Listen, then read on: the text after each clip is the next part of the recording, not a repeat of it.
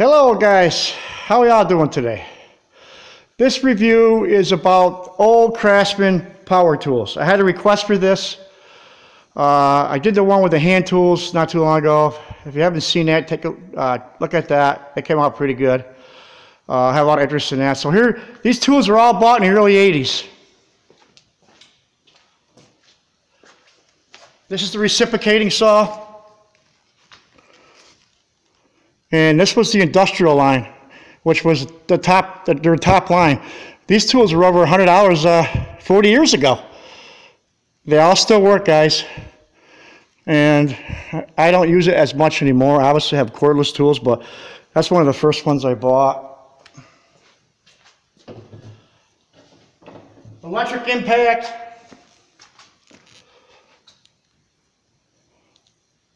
Half inch.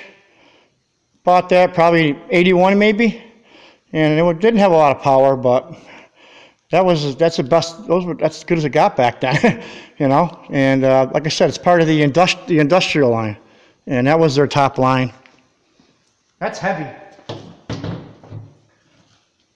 Four and a half inch disc grinder. I was using this up until oh I don't know, maybe five years ago when I started buying the cordless tools. It still works pretty good the industrial line, which was top line back then. A basic three inch drill. That's the first power tool I bought. I was like, I was so proud of that when I bought that. I was only a kid, you know. And I use it for mixing paint now. That's about it.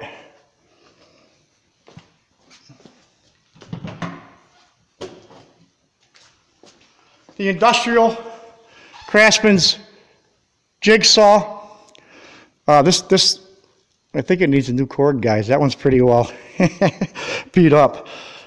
It had the adjustable blade where it kicked out, or it kicked out.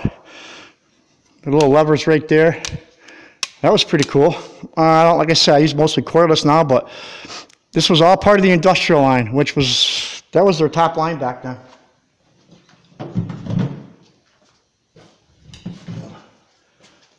The half inch drill, with the auto chuck.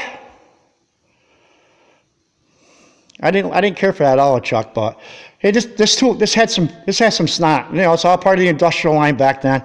This was probably 150 bucks 40 years ago. I don't use it much now. Like I said, I use mostly mostly cordless. And last but not least, in this video is the one horsepower drill press. Cast, that's all, that, that thing is heavy. I bet you that weighs 150 pounds, guys. And it has the uh, 5H chuck, the 15 inch table, cast table, 12 speed, 1 horsepower, 1 horsepower electric motor. You can see it back there. That's a good sized motor.